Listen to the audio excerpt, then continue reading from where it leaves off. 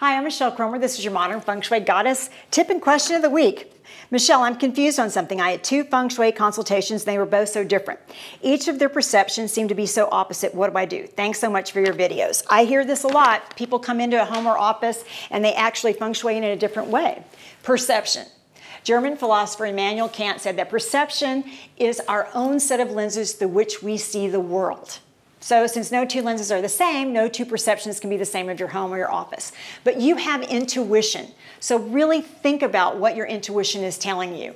However, your perception could change if something else rings true. For example, let me give you a, a, story that happened to me. My grandparents had a ranch in West Texas, and they, it was a very small little town that they were associated with, and they went to this little church. And so I went out to see them, and every Sunday I would go to church and then we would have lunch with Mr. Tommy. He was a single older man that worked for the electric company. So he would come over and he would tell us about his dreams of going to all, selling his home, retiring, buying an RV and go to all the national parks. Well, one Sunday when I was visiting, I noticed that Mr. Tommy was sitting next to a woman. So I said to my grandfather, What's going on? And he said, Mr. Tommy's in love. Well, sure enough, they got married. But what no one knew is that his new wife was was swindling all this money for the company that she was a secretary for for an oil company. So she got caught, hundred thousand dollars. So instead of going to jail, Mr. Tommy went to the CEO, who also went to the church, and said, "Please let me just pay back every dime."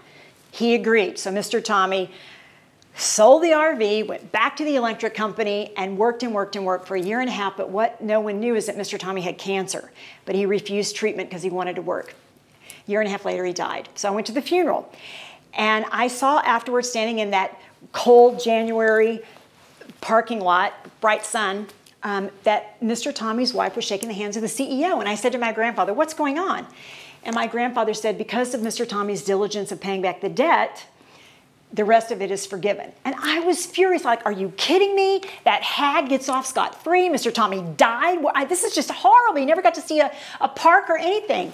And my grandfather spun around, blocking the sun, and said, Michelle, Mr. Tommy never felt it was a sacrifice because he loved that woman.